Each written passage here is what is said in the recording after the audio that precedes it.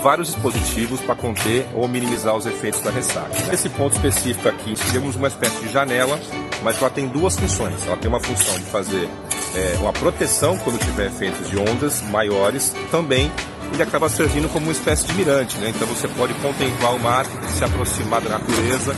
Ele é uma espécie de banco que funciona durante os períodos de calmaria. As maiores dúvidas que a gente tinha é quanto aos pontos de ônibus, se iam ser nas duas vias, que é uma preocupação não só do munícipe, mas também lá do pessoal que mora na Santa Cruz, na Praia do Góis, né? Então essa também já foi esclarecida, os bolsões que nós vamos ter para estacionamento. Então foi um projeto muito bem pensado e está de parabéns à prefeitura. A ponta da praia vai ficar muito bonita e totalmente remodelada.